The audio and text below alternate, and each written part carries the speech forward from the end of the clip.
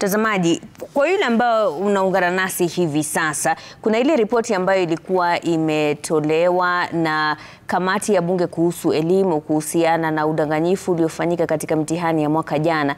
Uh, taarifa hiyo iliandaliwa na Safina Cheng. Hebu tu itazame.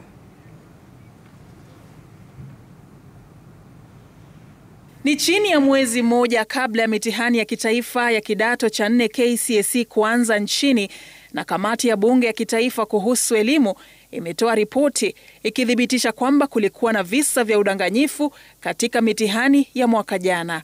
Kamati hiyo imefichua kuwa idara ya DCI imeshughulikia jumla ya kesi 68 huku kesi 44 zikiwa zinaendelea kuchunguzwa, kesi 17 zikiwa mahakamani na kesi moja ikiwa na hati ya kukamatwa na kesi sita tayari zikiwa zimekamilika. Huko Embu kwa mfano, ilidaiwa kuwa walimu walikuwa wameona majibu sawia yaliyotolewa na wanafunzi, huku walimu wakisema waliweka alama kwenye baadhi ya hati zenye majibu sawa.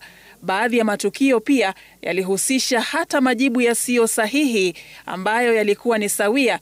Katika karatasi ya pili ya historia ya swali la 23 ambapo mhojiwa alithibitisha kuweka alama kwenye karatasi ambapo shule nzima iliandika jibu lisilo sahihi, lakini lilikuwa sawa kwa baadhi ya watahiniwa.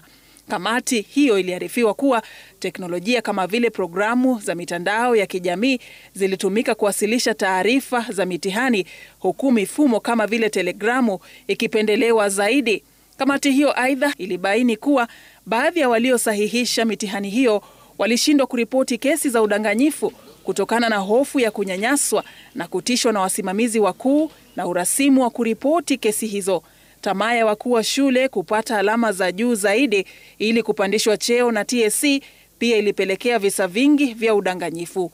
Kuhusiana na hili, kamati hiyo inapendekeza kwamba TSC irekebishe mahitaji ya walimu ya kupandishwa vyeo ili kuzingatia vipengele vingine kama vile nidhamu na ukuzaji wa walimu.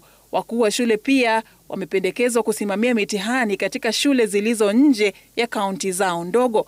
Kamati hiyo aidha imependekeza kuongezwa kwa ufadhili kwa baraza la mitihani nchini NEC katika mwaka wa 2024-2025 ili kusaidia uwekezaji wa kamera za CCTV na mbinu zingine za kidijitali za kusimamia mitihani. Safin Achieng Ouma